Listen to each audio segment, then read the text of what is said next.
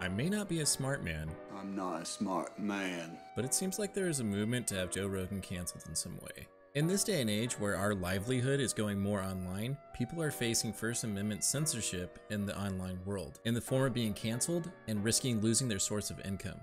Rogan and the JRE podcast have been accused of misinformation, which would mean he is deliberately intending to be deceitful to his listeners. This backlash is coming largely after his episode with guest Robert Malone, with celebrities and artists asking for their work to be removed from Spotify as long as Rogan is still on the platform.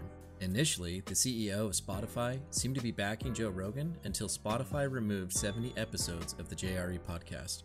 Now, after the misinformation accusations, Rogan is having past episodes of him saying the N word brought up and being called into question, resulting in Rogan making a statement apologizing for uttering the word and saying he used the word in context to references and not as a slur towards anyone.